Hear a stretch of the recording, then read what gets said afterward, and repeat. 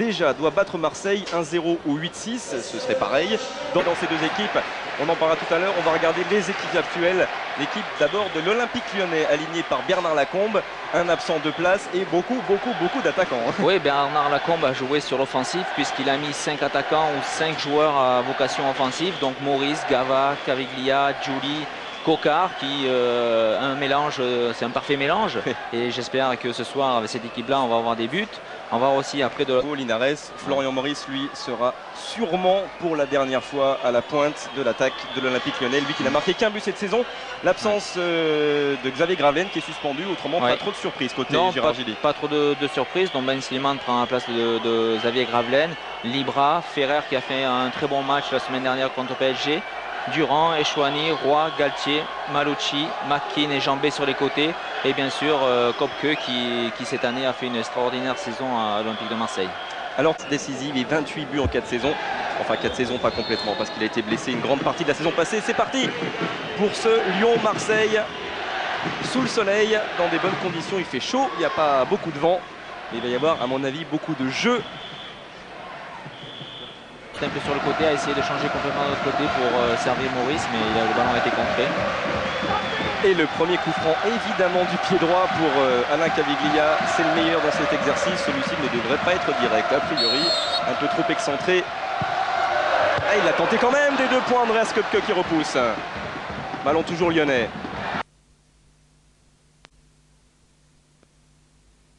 Alain Caviglia et Lyon mène déjà 1-0.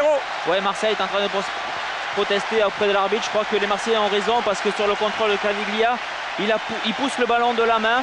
Euh, Peut-être que monsieur l'arbitre central n'a pas pu le voir, mais je crois que l'arbitre de touche était très bien placé pour pouvoir le voir. On va le voir sur euh, le ralenti. Caviglia tire ce coup franc, que repousse. Caviglia joue en 1-2. Avec Linares. Avec Linares très intelligemment par-dessus la défense. Caviglia contrôle bien sûr sur la main de, du bras. Et malheureusement, il marque euh, pour les Marseillais, c'est dommage parce que ce but n'était pas, pas, valable. Mais ça, ça, part dans un bon rythme, ça part euh, dans une bonne ambiance. Et je crois que ce soir, comme on a dit tout à l'heure, on va avoir beaucoup de buts. Et on l'a vu juste avant le début de la rencontre, sûrement rester à Marseille. Et s'il devait quitter Marseille, attention Linares, c'est bien fait, il n'a pas réussi à emmener son ballon jusqu'au bout. Jean-Philippe Durand, le capitaine marseillais. Oui, il pensait. C'était pour Libra, tête de Marcello. Linares, directement sur Jean-Philippe Durand repris par Franck Gava qui a vu Julie 4 contre 3 il n'y a pas de hors-jeu. Il n'y a pas de hors-jeu pour Florian Maurice. 2-0 pour l'Olympique lyonnais. Le deuxième but Florian Maurice qui doit être très très heureux de marquer pour son dernier match. Le passeur décisif et le buteur Gava Maurice et 2-0 pour Lyon. Oui, ce qu'on disait tout à l'heure, c'est que Marseille est obligé, était obligé de venir attaquer pour essayer d'égaliser. Je crois que maintenant Lyon euh, attendait Marseille euh, pratiquement dans leur camp et une contre-attaque bien menée par euh, Gava Maurice. Dans, dans une 2 euh, Marseille a voulu s'aligner, mais Maurice n'était pas hors jeu du tout et a pu ajuster comme que dans les buts. On espère que ça va pas continuer comme ça pour l'Olympique de Marseille, qui avait réussi ah, C'était le premier match de la saison, évidemment, à, battre Lyon 3-1 au Vélodrome. Là, c'est sûr, il n'y a pas d'hors-jeu. Et en 1 contre 1, il a le temps de tromper Köpke et l'espace. Florian Maurice. Marcello en face de lui, ballon récupéré par un Lyonnais en général Salavit. Ça s'est passé comme ça depuis le début de la rencontre. Il est un peu seul là. Ludovic Giuli. Émeric Roy est tombé. Mais c'est bien vite relevé. Oh, la reprise de Caviglia qui s'enflamme un peu, mais pourquoi pas C'était osé cette reprise de volée. Faut que les Marseillais finalement poursuivent sa course jusqu'à Coupet. Jean Castaneda et Gérard Gilly ont le masque pour l'instant. Selmini avec Franck Gava, joli contrôle, joli une 2 aussi avec Jolie. Et là-bas il y a Christophe Cocard qui n'est pas en jeu. Encore un face à face. Cette fois-ci que s'impose et Gava qui inscrit le troisième but de l'Olympique lyonnais.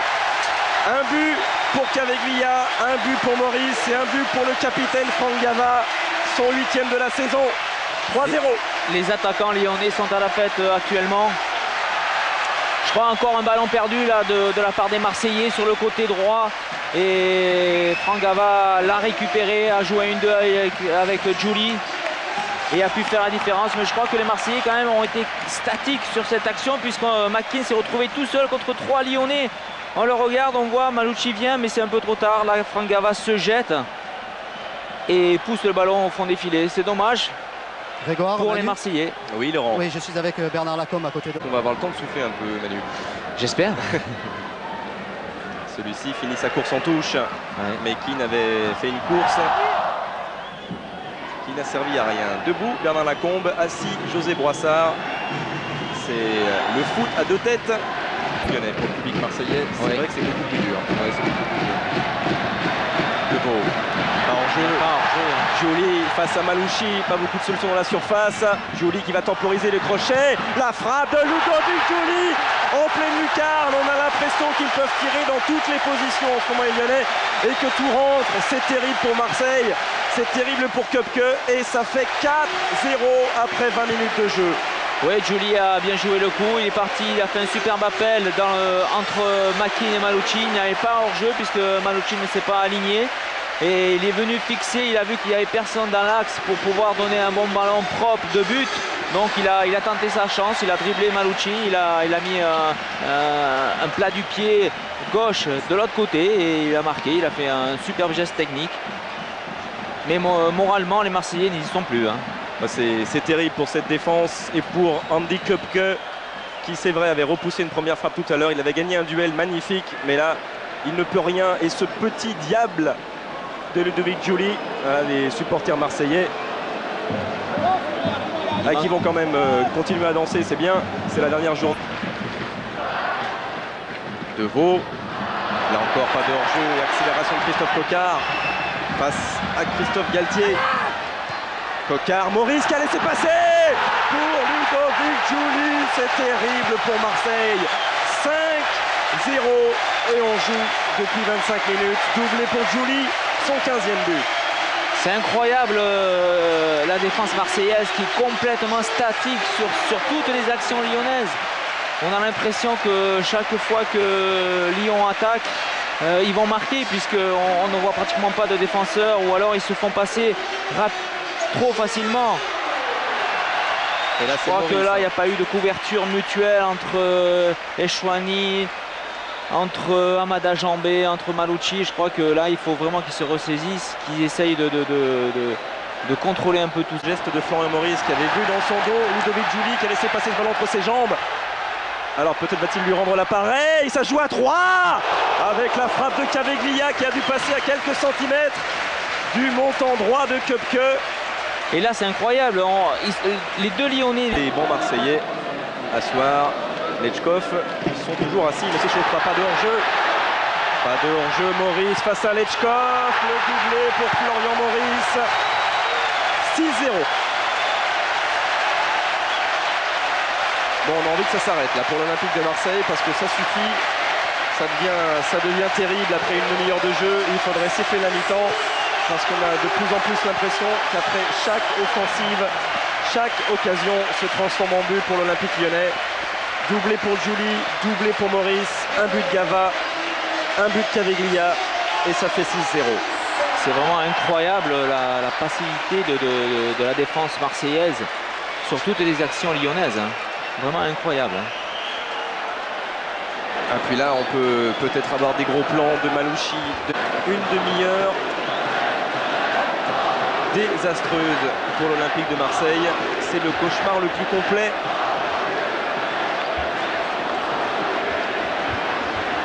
Une arène 1-0. Donc pour l'instant, de toute façon, Lyon se contente de l'Intertoto avec ce résultat du côté de la route de Lorient. Mehdi Sliman. Voilà une belle ouverture. Pas de hors-jeu. Et sortie de Coupet. On on aurait aimé que Marseille inscrive ce but. Oui, on aurait aimé que Marseille euh, sauve l'honneur en première mi-temps puisque c'est la- vraiment la seule occasion qu'ils ont eue euh, pendant ces, ces 25, euh, 30, 30, 30, 35 premières minutes. Et je crois que c'est dommage que Marc Lebrun ait loupé cette occasion.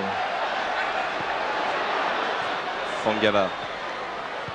Cocard. Caveglia. Caveglia, il est passé. Oh là là, c'est terrible. 7-0. Doublé pour Caveglia, doublé pour Maurice, doublé pour Giuli. Wow. Et il reste 10 minutes à jouer en première période. Je vraiment que c'est une catastrophe pour les joueurs olympiens parce que euh, en prendre 7 au bout de 35 minutes de jeu, c'est vraiment euh, une catastrophe pour eux.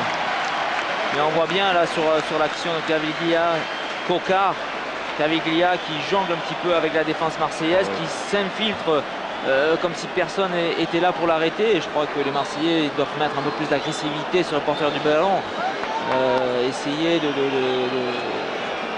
bloquer toutes ces attaques lyonnaises, puisque pratiquement toutes les attaques vont remettre en jeu ce ballon pour le début de la seconde période. Pas de Dechkov pour l'instant. Alors que les remplaçants lyonnais vont s'échauffer. De Florent Maurice, Galtier qui décroche un tout petit peu. Jambé qui s'occupe de, de Gava. Coup franc sur le poteau Ce coup franc de Caveglia à ses, coéquipiers pour le chambrer, il appelle l'unijambiste. Il a été décalé par euh, Bernard Ferrer et le mur lyonnais repousse la frappe d'Eric Roy. Et la contre-attaque est lancée par qui comme d'habitude Par Ludovic Giuli face à Amada Jambet. Directement sur la tête de Gaël Péché.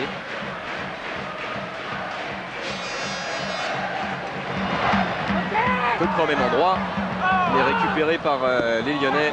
Et on sent vraiment de l'indécision dans cette défense euh, marseillaise. C'est Libra qui a hésité à relancer. 8-0 et deuxième but de la saison de la tête pour le plus petit joueur du championnat de France. 1m64 triplé ce soir pour Ludovic Giuli. C'est son 16e but de la saison et Lyon mène 8-0. Oui, c'est vraiment faramineux. Il y a un superbe centre de, Christophe Cocard qui a observé aimé ça. Et là, ça, a été pareil. Euh, Ludovic Giuli était vraiment tout seul. Il devait y avoir peut-être 3-4 Marseillais autour de lui. Euh, euh, s'est bien appliqué sur ce centre et a trouvé la tête de Julie qui vraiment était tout seul dans cette défense beaucoup passive qui, ne comprend rien. ça bouge, ça bouge. À la limite de la surface de réparation, cette fois, il ne l'a pas frappé directement. Et la défense marseillaise s'en sort grâce à Olivier et Chouafli. On a eu peur, euh, on a eu peur puisqu'on pensait d'ici des tribunes que le ballon allait rentrer dans les filets.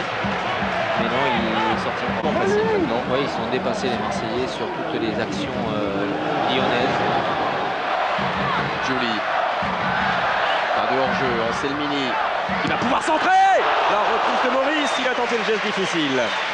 Un geste vraiment extraordinaire. Concédé par De Garvide. De Garvide qui est venu couvrir son libéraux. Il y a Issa qui est grand, il a la tête de Deveau. Et la reprise, elle a été détournée, passe au-dessus de la transversale de Coupet. Nouveau corner pour l'OM après cette rencontre pour entendre le résultat de son ancienne équipe Saint-Etienne. Ah, on va suivre Marc Libra, l'occasion pour Marc Libra sur le poteau Et De Guerville qui va sauver l'Olympique lyonnais. Et L'Olympique lyonnais. Et il le mérite, il le mérite. Parce que c'est vraiment, c'est vraiment un grand bonhomme Marcelo.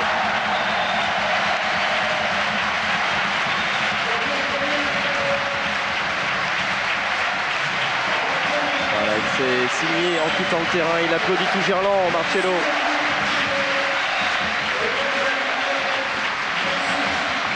La bise de Bernard Lacombe. Maintenant, il peut rejoindre. C'est terminé, les trois coups de sifflet de M. Blochon qui n'a pas attendu les arrêts de jeu. Et j'imagine qu'il a eu raison. 90 minutes et un score assez extraordinaire, évidemment qu'on n'aurait pas même pu imaginer en début de rencontre en début de retransmission. Eric Roy avec Florian Maurice, les anciens coéquipiers. 8-0 pour l'Olympique lyonnais. Oui, difficile sur C'est le football et puis il faut essayer d'oublier au plus vite parce que c'est quand même une sacrée claque.